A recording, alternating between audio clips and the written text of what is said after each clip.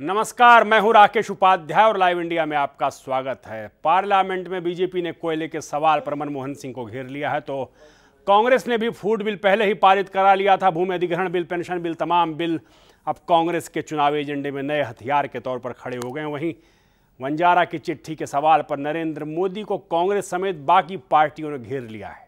मोदी के इस्तीफे की मांग उठी है तो राज्यसभा में गुजरात सरकार को बर्खास्त करने पर भी शोरगुल और हंगामा हुआ है। यानी सियासत में मनमोहन और मोदी पर महाभारत तेज है। देखिए हमारी ये खास पेशकश।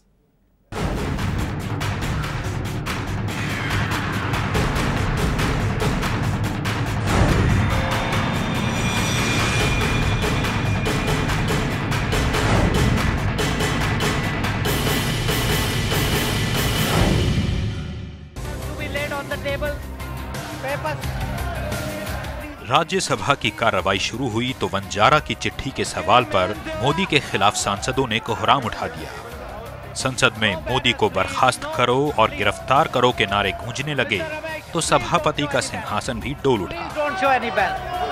House is adjourned for 15 minutes. Rajya Sabha में मोदी के खिलाफ उठा शोर बर्खास्त करो मोदी को गिरफ़्तार करो। ज़ाहिर तौर पर अपने नेता के खिलाफ उठ रही आवाज़ को बीजेपी सांसद कैसे सुन पाते? पलटवार भी शुरू हुआ उसी अंदाज में, लेकिन कौन क्या बोल रहा है, सुनना मुश्किल था। बीजेपी सांसदों की जवाबी नारेबाजी। आएगा भी आएगा, नरेंद्र मोदी आएगा। राज्यसभा में मोदी के सवाल पर हंगामा देर तक बरपा तो लोकसभा में बीजेपी ने कोयले के सवाल पर प्रधानमंत्री की जमकर क्लास लगाई। बयान की सारी हदें पार करते हुए नेता विपक्ष सुषमा स्वराज ने मांग उठा दी कि प्रधानमंत्री सीबीआई के सामने पेश हों। आरोप भी लगाया कि कोयला घोटाले की फाइलें गुम नहीं हुई हैं। उन्हें साजिश के तहत चुराया गया है। क्योंकि स्वयं प्रधानमंत्री घेरे में हैं भारतीय जनता पार्टी लगातार प्रधानमंत्री की इज़्ज़त के साथ खिलवाड़ करती है। अगर मैं कहूँ कि देश की इज़्ज़त के साथ खिलवाड़ करती है तो गलत नहीं होगा। इस तरीके के बयानात की मैं निंदा करता हूँ। हालाँकि प्रधानमंत्री ने मंगलवार को ही अपने जवाब में साफ़ कहा था कि उनके पास छुपाने के लिए कुछ नहीं है। सीबीआई को डेढ़ लाख पन्ने सौंपे जा चुके हैं और जिन फाइलों की दरकार है उन्हें भी तलाश कर सीबीआई के सुपुर्द कर दिया जाएगा। कांग्रेस ने बीजेपी की मांग को प्रधानमंत्री की छवि खराब करने की कोशिश करार दिया। अब ये मामला मिसिंग का नहीं स्टोलन कैटेगरी का बन गया। और इसलिए इसमें तुरंत एफआईआर दर्ज होनी चाहिए। लेकिन आज तक सरकार ने इसमें एफआईआर दर्ज नहीं कराई। सरकार हमें ये बताए कि आप एफआईआर कब तक दर्ज कराएँगे। अगर आप एफआईआर दर्ज नहीं कराते तो आपकी नीयत पर शक होता है कि आप इन मिसिंग फाइल्स को खोजना नहीं चाहते, इन चुराई हुई फाइलों को खोजना नहीं चाहते। इस बीच लोकसभा में बीजेपी के समर्थन से सरकार ने बेहद अहम पेंशन बिल को पारित करा लिया। लोकसभा से ज़मीन अधिग्रहण बिल भी पारित हो चुका है। जिसे राज्यसभा में सरकार पेश कर चुकी है। मॉनसून सत्र में विपक्ष के घमासान के बीच फ़ूड बिल पर सरकार संसद की मंजूरी ले चुकी है। लेकिन कोयले के सवाल पर सरकार और विपक्ष के बीच घमासान जारी है। ज़ाहिर तौर पर बीजेपी मनमोहन को घेर रही है तो कांग्रेस और बाकी विपक्ष भी मोदी के सवाल पर बीजेपी की तगड़ी घेराबंदी में जुट गया है। क्योंकि स्वयं प्रधानमंत्री घेरे में हैं। राकेश उपाध्याय के साथ कुमार गौरव लाइव इंडिया दबाव ना हो तो एक तरफ़ कांग्रेस के हाथ में राइट टू फ़ूड बिल आ चुका है, ज़मीन अधिग्रहण का बिल आ गया है और पेंशन बिल भी कांग्रेस के हाथ में आ गया है। चुनावी माहौल से कांग्रेस की तैयारी पूरी है और बीजेपी कोयला झोंक रही है प्रधानमंत्री के ऊपर, कांग्रेस के ऊपर। ज़ाहिर तौर पर ताकत किसे मिलेगी, देखना होगा, क्योंकि कोयले से ताकत बहुत तेज मिलती है, इंजन तेज बढ़ता है, किसका इंजन आगे बढ़ेगा? इस बीच प्रधानमंत्री आज संसद में नहीं थे, क्योंकि वो मॉस्को रवाना हो गए जी ट्वेंटी देशों की बैठक में हिस्सा लेने। इधर संसद में विपक्ष ने कोयला घोटाले में प्रधानमंत्री की भूमिका पर सवाल दर सवाल उठाए। अहम मुद्दा है कि चुनाव नज़दीक हैं और आर्थिक सेहत देश की बिगड़ी हुई है। कहीं भ्रष्टाचार की कालिख कांग्रेस यानी मनमोहन सिंह पर भारी न पड़ जाए, ये मुद्दा खड़ा हो गया है।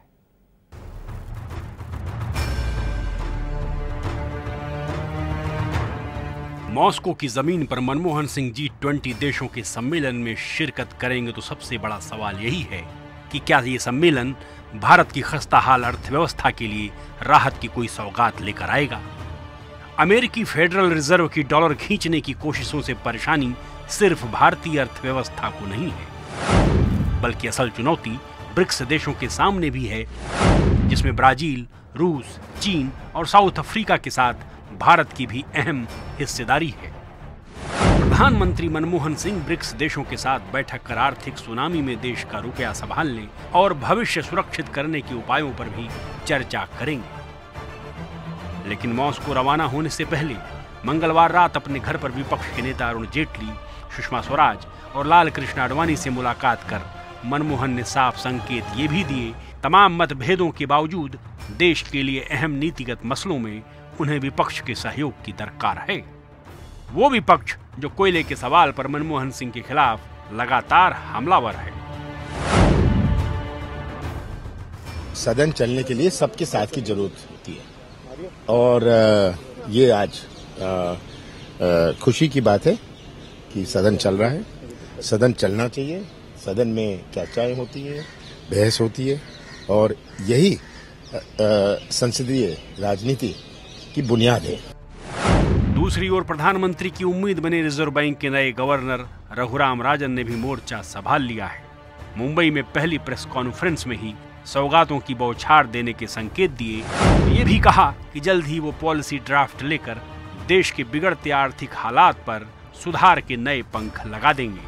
We have confidence in this economy that you know all the uh, sort of doom and gloom uh, is probably overdone, and that uh, you know we can, uh, in a sense, go back to uh, the stronger growth, but also financial stability, uh, uh, uh, financial market stability.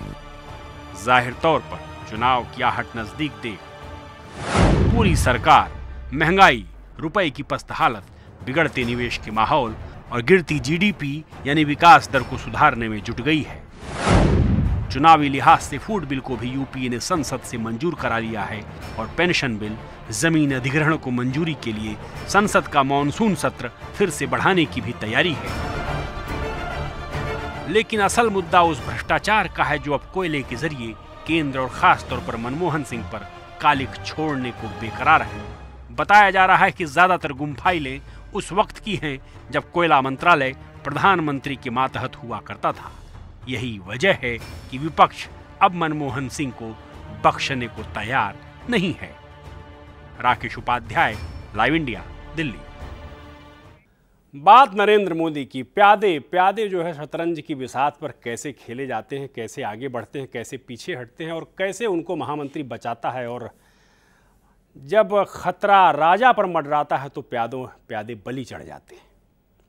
क्या हुआ गुजरात में? ये तो भविष्य बताएगा, लेकिन सवाल खड़ा हो गया है कि आखिर वंजारा ने चिट्ठी लिखी क्यों नरेंद्र मोदी को? तमाम किंतु पर उन सवाल हैं, लेकिन एक खबर छन कर आ रही है गुजरात से, और ख़ास तौर पर उस जेल से जहाँ वंजारा थे कि वो आसाराम बापू की गिरफ्तारी से टूट गए थे। आसाराम बापू के बेहद नज़दीकी भक्तों में शुमार किए जाते थे वंजारा, और वंजारा ने नज़दीकी लोगों से कहा कि जो भगवान मेरे गुरु को नहीं बचा सका, जो मुझे नहीं बचा सका, जो बत्तीस पुलिस अधिकारियों को नहीं बचा सका, और जिनकी दम पर नरेंद्र मोदी ने पूरी दुनिया में, देश में बहादुरी का तमगा ओढ़ा, आखिर उस नरेंद्र मोदी को लेकर हम क्या करेंगे? ये सवाल वंजारा ने खड़ा किया है। देखते हैं रिपोर्ट।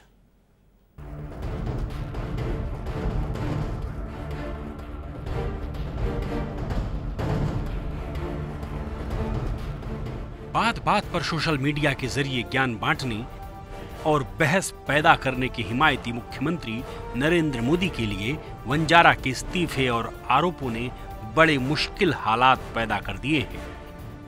वंजारा की चिट्ठी न उगलते बन रही है और न ही निगलते। अभी तक नरेंद्र मोदी के रणनीतिकार यही तय करने में जुटे हैं। आखिर इस चिट्ठी के हथियार की मार कहाँ तक जाएगी और कानून की अदालत में क्या ये चिट्ठी मोदी के खिलाफ वंजारा का कन्फेशनल स्टेटमेंट यानी गुनाहों की गवाही तो नहीं बनेगी।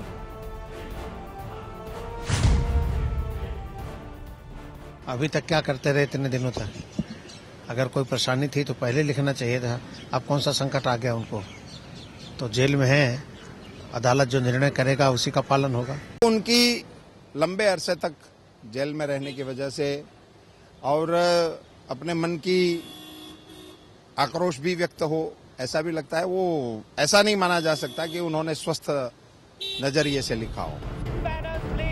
संसद में इसी सवाल पर विपक्षी पार्टियाँ और बीजेपी गुत्थम गुत्था हुए तो गुजरात से संकेत आया कि वंजारा का इस्तीफा सरकार मंजूर नहीं करेगी, क्योंकि वंजारा के ऊपर अभी केस बाकी है। लेकिन विपक्ष ने फ़ौरन ही मोदी पर इस्तीफे की तलवार लटका दी। राज्यसभा में जमकर हंगामा हुआ तो लेफ़्ट पार्टी की नेताओं की ओर से मांग उठी कि मोदी फ़ौरन मुख्यमंत्री पद से इस्तीफा दें और गुजरात सरकार फ़ौरन बर्खास्त की जाए What is happening in Gujarat is known to everybody. And you are all eulogizing him as the future Prime Minister of India.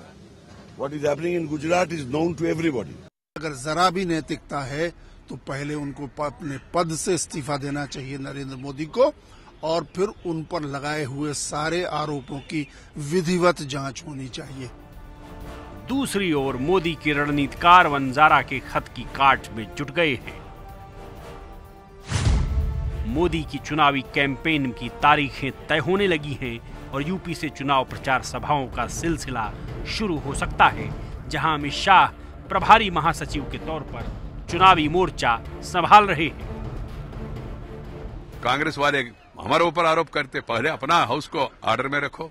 और जब भी कुछ हंगामा होता है आप हाउस अर्जन करते थे। जब कांग्रेस वाले हंगामा किया लोकसभा में नौ दिन दस दिन कभी भी आपने उसको ऐसा बिज़नेस कंटिन्यू नहीं किया आज कंटिन्यू कर रहे इस बीच सवाल ये है कि क्या बीजेपी वंजारा के ताज़ा हमले के बाद नरेंद्र मोदी को पीएम उम्मीदवार घोषित करेगी? बाहर दिखाने के बयान कुछ भी हों।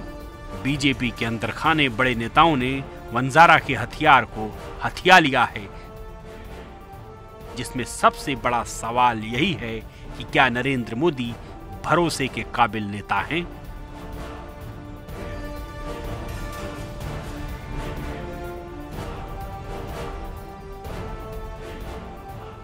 राकेश उपाध्याय के साथ मेहुल झाला, लाइव इंडिया, अहमदाबाद। दुश्मन चुनौती देते हैं तो सामना करना लाजमी हो जाता है, लेकिन जब अपने चुनौती देते हैं, अपनों की बगावत होती है तो सामना करना मुश्किल हो जाता है। वक्त एक ब्रेक का, जल्द लौटते हैं।